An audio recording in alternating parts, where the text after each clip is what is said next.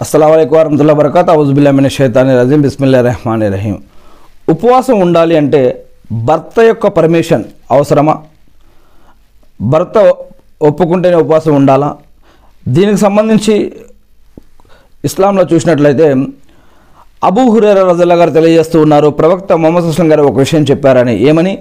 భర్త ఇంటిలో ఉండగా భర్త అనుమతి లేనిదే భార్య అదనపు అదనపు ఉపవాసాలు పాటించకూడదు. రంజాన్ ఉపవాసాలు కాదు ఇక్కడ. అదనపు ఉస- ఉపవాసాలు అంటే నఫిల్ ఉపవాసాలు సున్నత్ ఉపవాసాలు. అదనపు ఉస- ఉపవాసాలు. కానీ రంజాన్ ఉపవాసాలు ఖచ్చితంగా పాటించాలి. రంజాన్ ఉపవాసాలు ఖచ్చితంగా పాటించాలి. ఎందుకంటే ఖురాన్లోనే చెప్పడం జరిగింది. రంజాన్లో భార్యాభర్తలు పగటిపూట రమించడానికి వీల్లేదు రాత్రిపూట మీ ఇష్టం.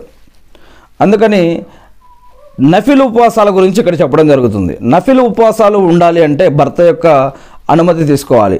ఇక రెండవ విషయం కూడా చెప్పడం జరిగింది. ప్రవక్త మొహమ్మద్ సుస్లం గారి యొక్క హదీస్లో అదేమిటంటే భర్త అనుమతి లేనిదే భార్య ఇతరులు ఎవ్వరిని కూడా ఇంట్లోకి రానియకూడదు భర్త అనుమతి లేనిదే ఇతరులు ఎవ్వరిని కూడా ఇంట్లోకి రానియకూడదు అని ప్రవక్త మొహమ్మద్ అస్లం గారు చెప్పారు అని అబూ హురైరా రజల్లా గారు తెలియజేస్తూ ఉన్నారు.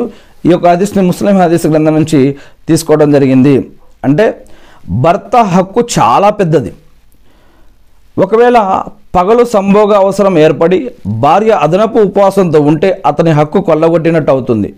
అందువల్ల భార్య అదనపు ఉపవాసాలు ఉండడానికి భర్త అనుమతి పొందాలి. అదనపు ఉపవాసాలు గుర్తుపెట్టుకోవాలి ఇక్కడ. అదనపు అంటే రంజాన్లో కాకుండా మిగతా దినాలలో ఉండే ఉపవాసాల గురించి మాట్లాడటం జరుగుతుంది ఇక్కడ. అదనపు ఉపవాసాలు ఉండడానికి భర్త అనుమతి పొందాలి.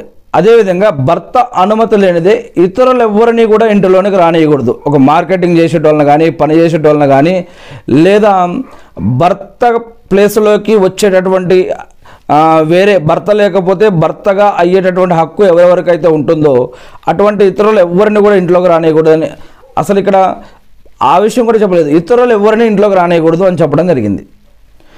ఏదేమైతేనేమి నేను అల్లా సుమాతాలని ప్రార్థిస్తూ ఉన్నాను.